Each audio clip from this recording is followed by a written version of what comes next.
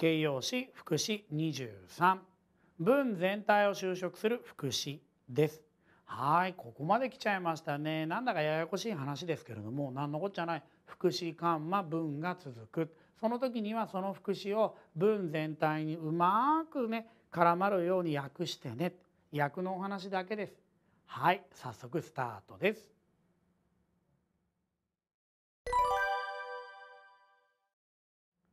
はい例題です。問題はこちら。次の日本文に合う英文になるように空欄に適する語句を書きなさい。2つ用意しました。一番明らかにそれは彼の功績だ。It is his achievement. 功績。ちょっとねシャレオツな単語をしました。achievement. 功績。はいそして幸運なことに彼は怪我をしなかった。He escaped injury. 怪我 injury. 避けたですからしなかったというふうに訳してみましたじゃあそれはそれでいいんですけれどもこの文全体をねこの文全体をね明らかにっていう表現が修飾しています。He escaped injury この文全体を幸運なことにが修飾してます。はいというわけで明らかにっていう副詞何だったかな？幸運なことにっていう副詞何だったかな？そう今回の TK ズポイントはこのように文全体を修飾する副詞をゴリゴリゴリゴリと押し込むだけです。はい早速いってみよう。TK ズポイントバン。文全体を修飾する副詞 obviously 明らかに。でこの後に SV うんちゃらかんちゃら。こんなことに。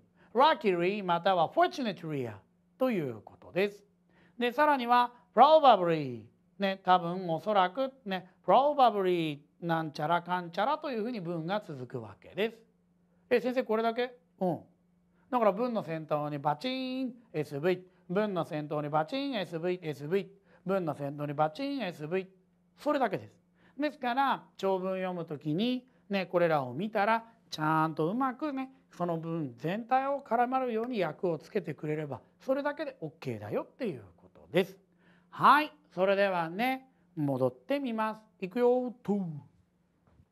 はいということで明らかに obviously はい。アブビアスリーということになります。先頭のおうですけれども、おじゃなくあです、むしろ。obviously、obviously、obviously という感じです。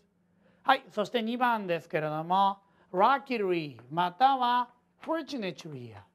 はい。このようになります。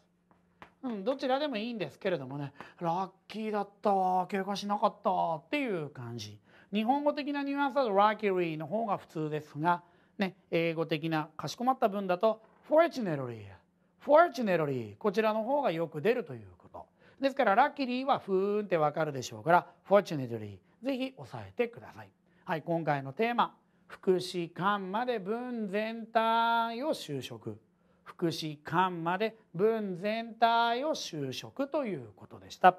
はい、タイトルがなんかちょっとうおーって感じでしたけれども見てみたら簡単だったでしょ。はいポイントバッチリですね。